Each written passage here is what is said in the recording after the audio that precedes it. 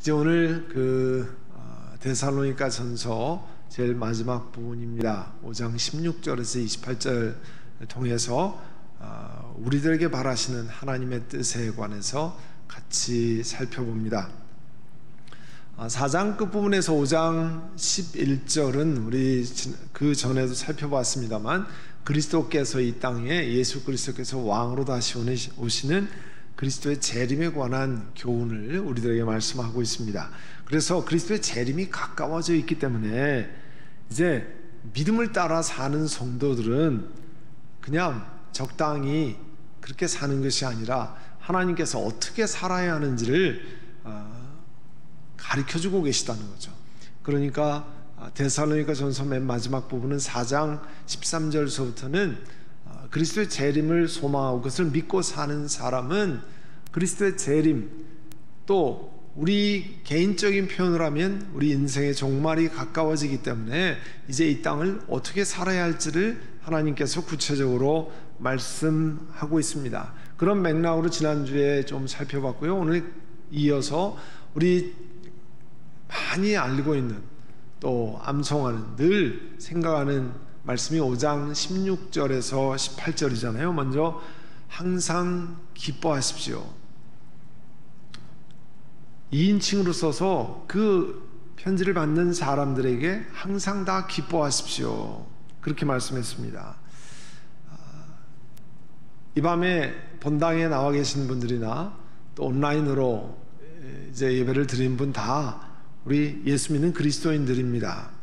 우리 그리스도인들에게도 인생의 골짜기와 봉우리가 있습니다. 인생의 깊은 골짜기, 아픔과 어려움의 시간이 있고 또 인생의 봉우리 위에 올라가는 것처럼 기쁨과 아, 희열에 있는 갖는 시간이 있습니다. 이런 인생의 시련과 또 기쁨의 높낮이 속에서 우리 인생은 환경에 따라서 여러 가지 여건에 따라서 인생의 높낮이가 많이 있습니다. 어렸을 때부터 지금까지 다 마찬가지죠. 그런데 그 속에서 그리스도인들에게는 변하지 않는 진리가 있습니다. 변하지 않는 진리가 어떤 겁니까? 세상 창조 전에 하나님이 이 세상을 만드시기 전에 그리스도 안에서 나를 택하셨다는 거예요. 여러분을 창조 이 세상의 모든 걸 있기 전에 하나님이 택하셨다.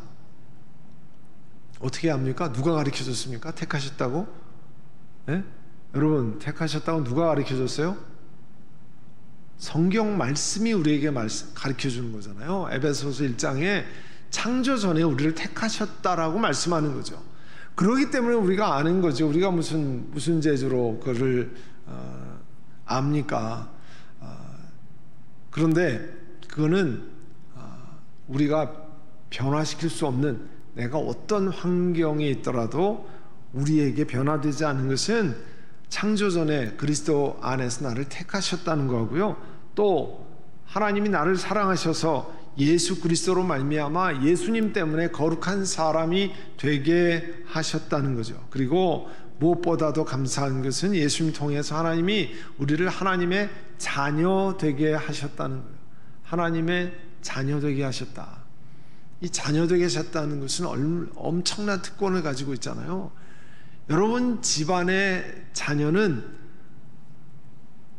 여러분 자녀들을 행할 때 어떤 바운더리를 제외하고는 자유롭게 아, 여러분 자녀들에게 허용하잖아요. 자녀이기 때문에 딴 사람에겐 전혀 허용되지 않는 것이 자녀이기 때문에 허용되는 거 아니에요? 그런 것이 우리 각 가정에도 수도 없이 많습니다. 자녀이기 때문에 마음대로 문 열고 들어오고 자녀이기 때문에 마음대로 냉장고 꺼내서 먹고 싶은 것 마음대로 먹고 자녀이기 때문에 방에서 잠자고 자녀이기 때문에 부모에게 학비 달라고 그러고 자녀이기 때문에 용돈 달라고 그러고 뭐 자녀이기 때문에 누리는 것 우리가 따져보면 기가 막히게 많습니다. 그래서 하나님이 우리를 자녀 삼신다고 하는 것은 변함이 없습니다. 내가 인생에 어려움을 당했다, 인생에 좋은 일을 당했다, 그 상관없이 하나님의 자녀라고 하는 것은 변함이 없습니다. 그러니까 하나님의 특별한 사랑으로 이렇게 내가 창세전에 하나님의 택함을 받고 하나님의 자녀가 되고 그리고 이그 그리스도 안에서 거룩한 사람이 되도 부름 받았다고 하는 것은 변함이 없는 거거든요. 세상 모든 게 다 변해도 그건 변함이 없는 겁니다. 그래서 거기에 집중하고 하나님 앞에 기뻐해야 합니다. 거기에 기뻐해야 돼요. 그거는 돈 주고 살 수도 없는 거고 아무리 세상의 모든 것으로도 누릴 수 없는데 우리가 누리고 있는 거잖아요. 우리가 또 갖게 되는 거잖아요. 그래서 그거를 기뻐해야 됩니다. 항상 기뻐하십시오. 아니 내가 지금 이렇게 인생의 깊은 골짜기 가운데 있는데 눈물 바다 속에 있는데 어떻게 기뻐할 수 있느냐? 그 속에서도 이와 같은 진리를 가슴에 품고 어려운 일을 당하지만 그 속에서도 기뻐할 수 있다는 거예요. 그리스도인들에게 종말을 맞는 그리스도인들에게 인생의 종말을 맞는 그리스도인들에게 기뻐할 일이 있다는 사실을 말씀하고 계십니다. 그래서 기뻐하셔야 됩니다. 그래서 데살로니가 교인들에게 우리들에게 사도 바울을 통해서 기뻐하십시오. 그 다음에 17절에 끊임없이 기도하십시오.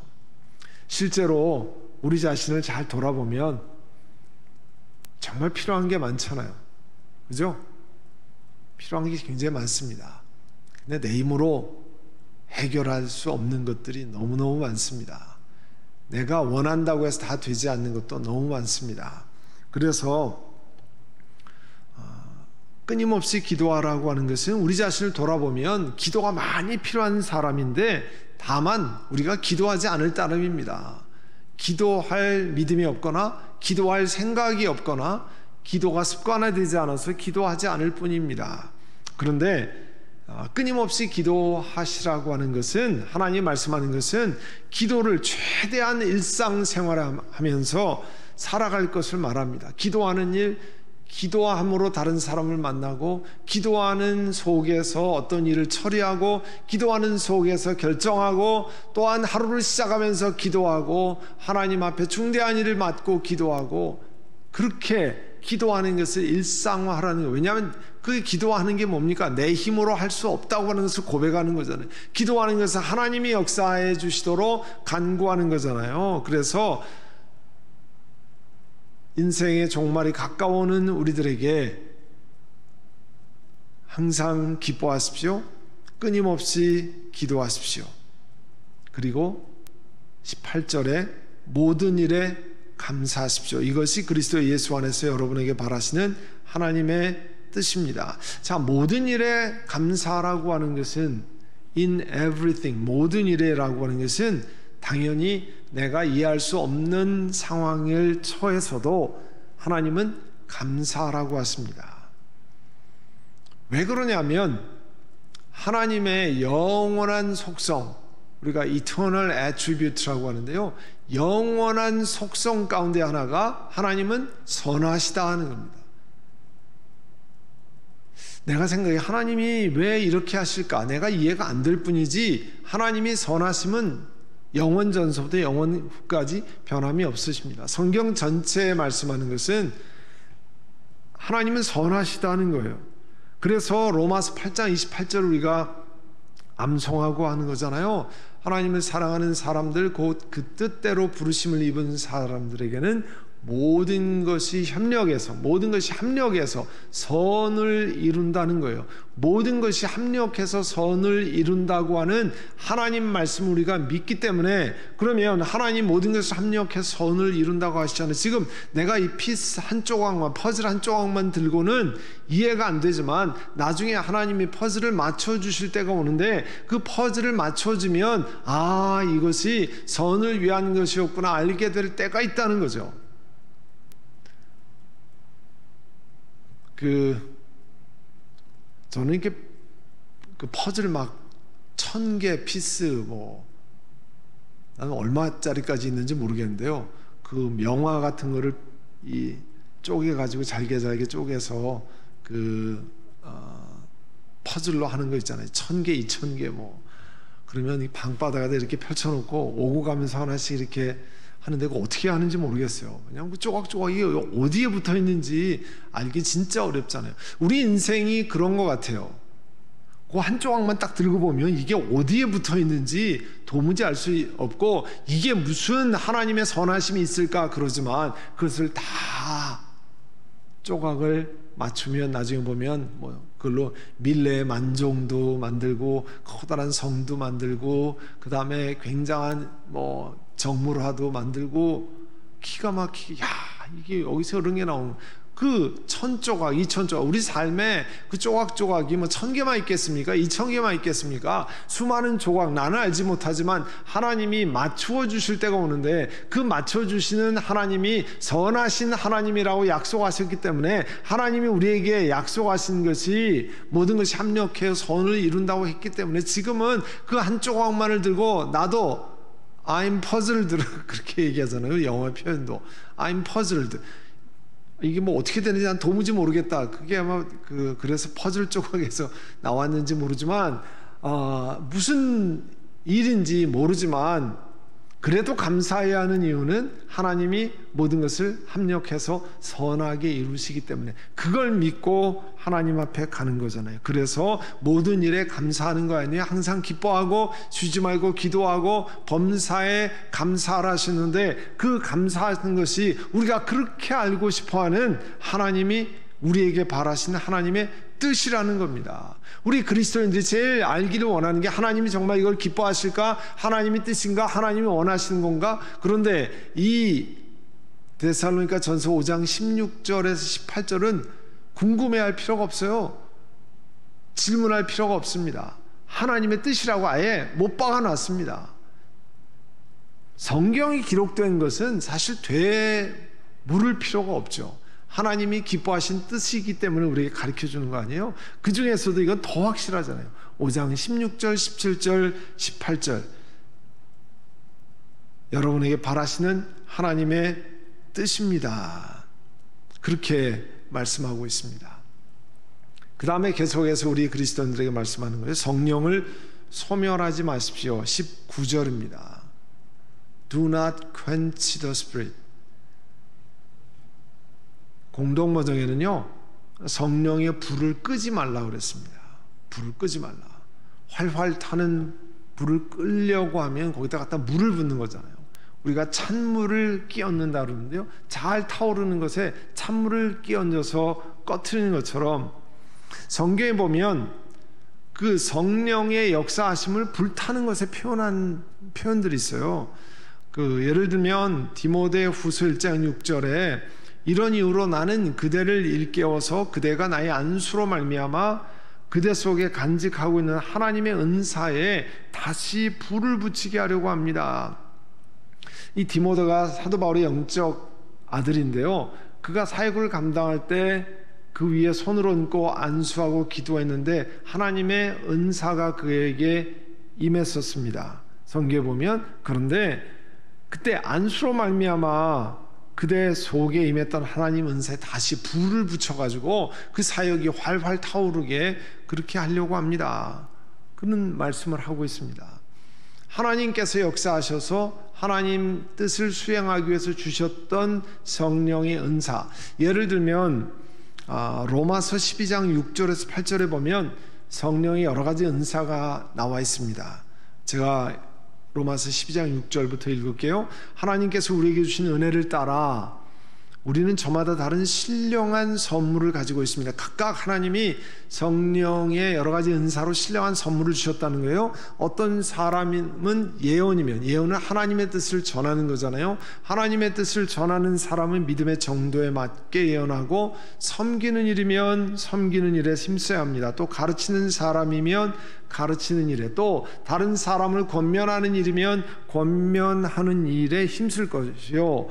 또 나누어 주는 사람 어려운 사람을 돕기 위해서 나누어 주는 사람은 순수한 마음으로 또 지도하는 사람은 열성으로 자선을 베푸는 사람은 기쁜 마음으로 해야 합니다. 이렇게 사람마다 어, 로마서 12장 6절에서 8절에만 은사가 나와 있는 것이 아니라 에베소서 4장 11절 또 고린도전서 12장에도 여러 가지 은사가 나와 있는데요. 하나님께서 은사를 주신 것은 공동체를 위해서 주신 거거든요. 자기의 유익이 아니라 공동체 하나님의 유익을 위해서 주셨는데 공동체 유익이라는 건 무슨 뜻이에요? 다른 사람을 섬기기 위해서 주신 거잖아요. 나 혼자 쓰려고 하는 것이 아니라 공동체 섬기기 위해서 그런 하나님이 주시는 성령의 역사가 나타날 때 가서 찬물 뿌리지 말라는 거예요. 그를 꺼트리지 말라는 거죠. 옛날에 오래전에 연탄불 꺼트리지 않으려고 애썼던 그 기억하시는 분이 있을 거예요. 연탄불이 꺼지면 그 연탄불을 붙이는데 보통 힘이 드는 게 아니기 때문에 연탄불을 계속 꺼트리지 말아야 되고 그래서 뭐 가서 번개탄을 사오고 해가지고 계속 했는데 사실은 우리 영혼에도 성령께서 역사하시는 그 성령의 불을 꺼트리지 않기 위해서 우리들이 해야 될 일이 있다는 거예요. 우리 갈라디아서 5장 22절 23절에 이렇게 말씀합니다. 성령의 열매는 사랑과 기쁨과 화평, 인내, 친절, 선함, 신실, 온유와 절제 이게 성령의 열매인데요. 이와 같은 일의 역사가 우리 삶에 그런 열매가 계속 나타나는 거 얼마나 귀한 일이에요. 그죠? 사랑, 기쁨, 희락, 인내, 친절, 선함 이런 온유, 절제, 성령의 열매가 나타나야 되는데 그런 열매가 나타나지 않고 열매가 맺히지 않게 되는 일이 있다는 거예요. 성령의 불이 꺼지는 일이 있다는 거예요. 어떤 일이냐면 하나님의 뜻에 상반되는 일을 행할 때 하나님의 성품과 반대되는 일을 추구할 때 하나님이 기뻐하시지 않는 행동 하나님이 기뻐하시지 않는 말, 하나님이 원하지 않는 생각하는 그런 일들을 행하는 것. 예를 들면 부도덕한 행동. 그건 하나님이 기뻐하시는 게 아니잖아요. 분노의 삶. 분노의 폭발해서 하는 말. 이렇게 되면 성령께서 주시는 그런 귀한 은혜가 사라진다는 거예요. 여러분 가서 캠프파이어 하는데 불이 막 한참 타올라요. 양동이로 가서 물을 거기다 부어버렸어요. 그럼 그 다음에 다시 불을 붙이려면 그거 마를 때까지 그날 밤엔 캠프파이어는 다 한 거잖아요. 불 못 쬐는 거잖아요. 우리 영혼에도 그러기 때문에 성령의 그런 불, 그 감격, 온유와 평강과 은혜와 친절과 그런 것이 나타나려고 하면 늘 우리 그 연탄불을 잘 관리하듯이 장작불을 잘 피어오르게 하듯이 캠파이어의 불을 잘 관리하듯이 우리 영혼의 성령의 불도 잘 관리해야 됩니다. 그러려면 하나님이 기뻐하시지 않는 일을 행하지 말아야 돼요. 하나님이 기뻐하시지 않는 일을 따라가면 하나님이 기뻐하시지 않는 생각과 행동을 쫓아가면 그 성령의 불이 꺼진다는 거예요.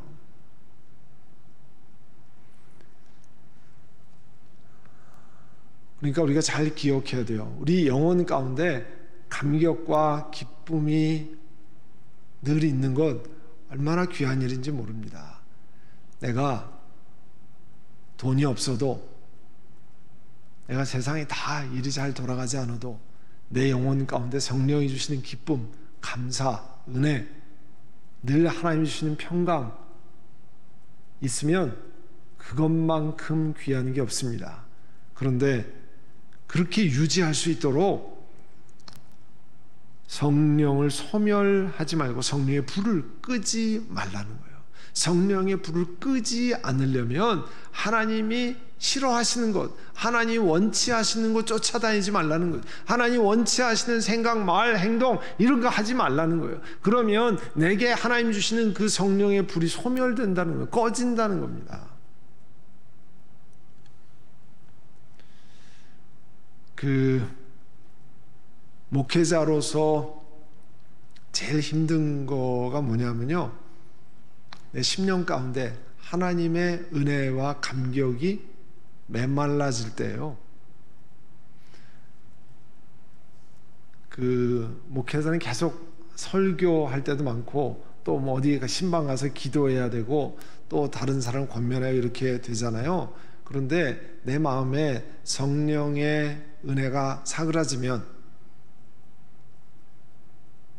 정말 어렵습니다. 우리 이런 거랑 비슷해요. 목이 막 바삭바삭 타고 막 그럴 때 뭐 노래를 해야 된다든지 입이 막 쩍쩍 붙어가지고 말을 할 수가 없는데 막 10분, 20분 스피치를 해야 된다면 보통 고통스러운 게 아니잖아요. 우리 영혼의 성령의 불이 꺼져 있는데 설교를 한다든지 다른 사람을 위해서 기도한다든지 이건 보통 힘든 게 아니에요. 그래서 누가 이런 얘기했어요. 성령의 은혜 없이 목회를 하라고 얘기하는 것은 거의 저주에 가까운 거라고. 감당을 할 수가 없기 때문에. 그래서 어, 목회자가 늘 성령의 은혜가 충만한 내 영혼 가운데 성령이 주시는 기쁨과 감사와 은혜가 촉촉하게 임하도록. 그래서 우리가 찬양할 때나 내 입이 마르지 않고 늘 어, 촉촉한 가운데서 말하고 찬양하고 이렇게 할 수 있는 것처럼 내 영혼에 그런 은혜가 넘쳐나도록 해야 됩니다. 저만 그런 게 아니고요. 교회 리더들도 앞장서 있는 분들도 그런 은혜가 임할 수 있도록 그렇게 내 영혼을 준비시켜야 됩니다. 근데 오늘 이 말씀은 그런 리더뿐만 아니라 모든 사람의 종말을 앞두고 사는 사람들에게 어떻게 해요? 성령의 성령을 소멸하지 마십시오. 성령의 불을 끄지 마십시오. 그 다음에 20절이요. 예언을 멸시하지 마십시오. 이건 교회 전체를 대상으로 하는 말이에요. 교인들 모두에게 이 예언의 은사라고 하는 것은 아까도 말씀드렸지만 은사는 공동체의 유익을 위한 거예요.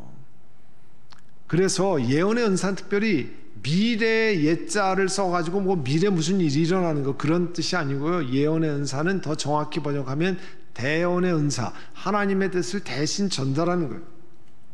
그러니까 예언의 은사가 나타나는 경우는 하나님의 뜻을 전달하는 거예요. 오늘날 교회 주시는 예언한 은사 가운데 하나님의 뜻을 전달하는 것 가운데 가장 큰 포션이 어디에서 나타나냐면 목회자의 설교 사역에서 나타납니다.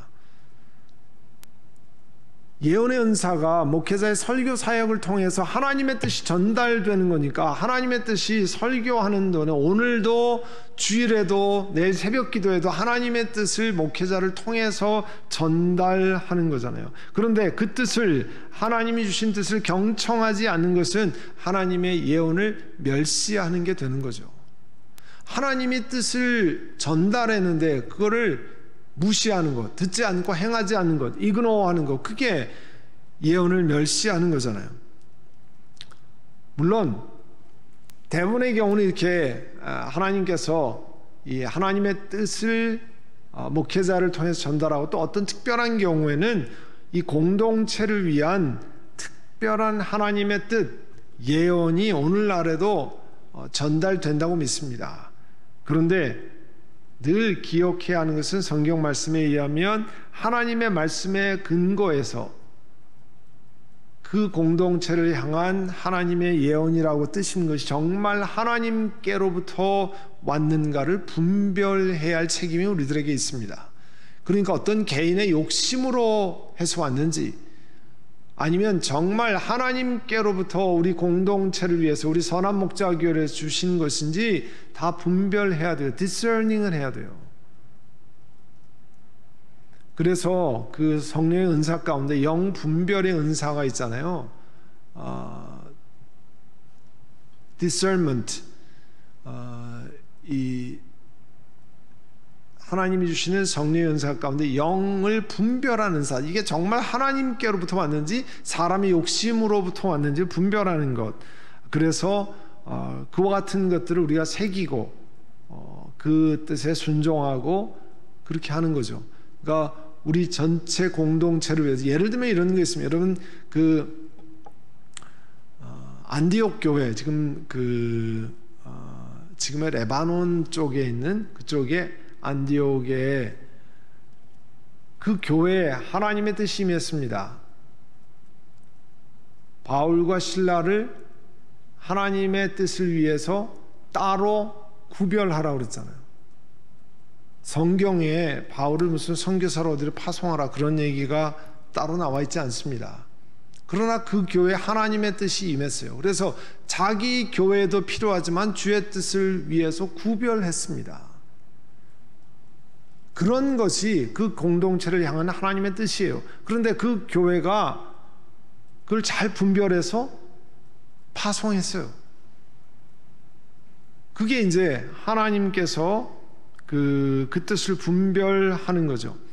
그리고 아, 이런 뜻을 전달한 다음에 계속해서 말씀하는 게 뭐냐면 21절에 보시면요. 모든 것을 분간하고 좋은 것을 굳게 잡으십시오. 모든 것을 분간하고 우리 삶에 있어서 모든 일에 있어서 하나님의 말씀을 기준으로 해서 좋은 것을 붙들라는 붙들라는 권면이에요. 그러니까 우리 삶에서 잘 분별해 이게 하나님 뜻에 이게 하나님 앞에 합당한가? 하나님이 기뻐하실까? 이런 것을 잘 분별하라는 거예요. 내가 좋아하는가, 나에게 유익이 되는가, 이걸 하면 더 다른 사람 앞에 드러나는가, 그게 아니고 하나님이 기뻐하실까, 하나님 말씀에 의해서 여기 말씀, 모든 것을 분간해서 좋은 것을 굳게 잡으십시오. 하나님 말씀에 근거해서 좋은 것이면 굳게 잡고 22절에 각가지 모양의 악을 멀리 하십시오. 성경 말씀으로 분간해서 악한 것은 당연히 모양이라도 버리라는 거예요. 우리 삶을 사는 중요한 삶의 기준입니다. 그러니까 이 말씀에 의하면요, 미국적인 것이 좋은 것이나 한국적인 것이 좋은 것, 그런 게 아닙니다. 성경 말씀에 따라 합당한 것이 좋은 거죠.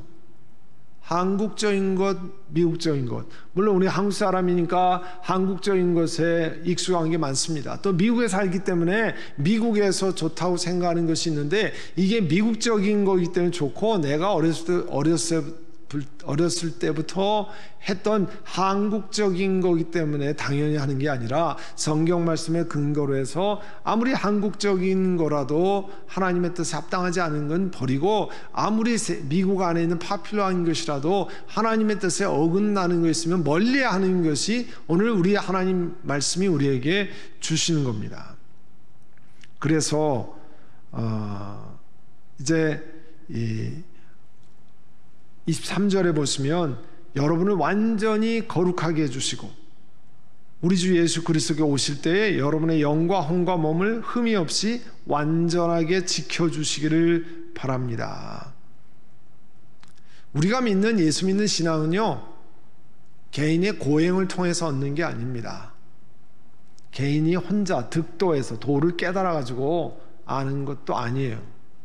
만약에 우리 기독교가 어떤 종교처럼 개인 혼자 득도한다든지 그리고 개인의 수련으로 한다면 예수 못 믿을 사람 많습니다. 어떻게 그 고행을 다 쫓아갑니까? 어떻게 전부 그런 도를 다 깨닫겠습니까? 그런데 너무 감사한 것은 우리가 예수 그리스도를 영접한 다음에 하나님의 성령께서 우리에게 임해서 장성한 분량에 자라날 때까지 하나님이 은혜를 베푸시는 거예요. 그러니까 내 힘으로 하는 것이 아니고요. 하나님이 은혜를 베푸시는 겁니다. 그래서 그 옛날 어른들도 공부를 하나도 하신 분 못하신 분, 심지어 한글도 못 배우신 분들이 성경을 읽기 위해서 한글을 배우고 성경을 읽고 하나님을 사랑하고 그렇게 하는 것은 하나님이 그런 은혜를 주셨기 때문입니다. 오늘 그 말씀을 하고 있으면 24절에 보세요. 여러분을 부르신 분은 신실하시니 얼마나 감사합니까? 하나님은 우리를 부르신, 부르셨는데 그 하나님이 신실하시니 이 일을 이루어 가실 거라는 거예요. 신실한 하나님이 이 faithful God 하나님께서 우리에게 그런 일을 이루어 가실 것입니다. 그러면서 이제 데살로니카에 보낸 첫 번째 편지를 마무리하면서 세 가지 부탁을 하면서 마무리하고 있어요. 첫 번째가 25절에 우리를 위해서 기도해 주십시오. 이 교인들의 기도를 통해서 하나님의 능력이 임하는 거예요. 그래서 여러분 중보 기도에 기도 제목을 올리고 기도 부탁하는 거 얼마나 귀한 일인지 모릅니다. 여러분 어려운 일을 만날 때 힘든 일을 만날 때 중보기도 팀에 기도해 달라고 부탁하시기를 바랍니다. 왜냐하면 많은 사람들이 함께 기도하는 것은 하나님의 역사를 풀어놓는 역사가 있습니다. 하늘 문이 열리고 하나님께서 역사하시는 것을 경험하게 만드는 겁니다. 그런데 혼자 애써서 기도하지 마시고 알려서 뭐 어떤 경우에는 뭐 익명으로 기도할 수도 있고요. 어떤 분 구체적으로 이름을 밝혀서 기도할 수도 있잖아요. 오늘도 사도 바울께서 우리를 위해서 복음을 전하러 다니는 우리를 위해서 기도해 주십시오. 그래서 우리가 만나는 사람들의 영혼이 준비되고 그 사람들의 마음이 열리도록 기도해 주십시오. 그 다음에 26절에 거룩한 입맞춤으로 모든 믿는 사람들에게 문안해 주십시오. 그 당시 입맞춤으로 인사하는 것은 당시 그 지역에서 그 당시에 행했던 널리 행해졌던 인사 방법이었습니다. 그런데 바울은 거기다 한마디를 더하고 있어요. 거룩한 입맞춤으로 했습니다. 무슨 낭만적인 입맞춤, 이성을 감정을 자극하는 입맞춤이 아니라 인사를 위한 거룩한 입맞춤으로 서로에게 문안해 주십시오. 그 다음에 이 편지를 27절에 읽어 주십시오.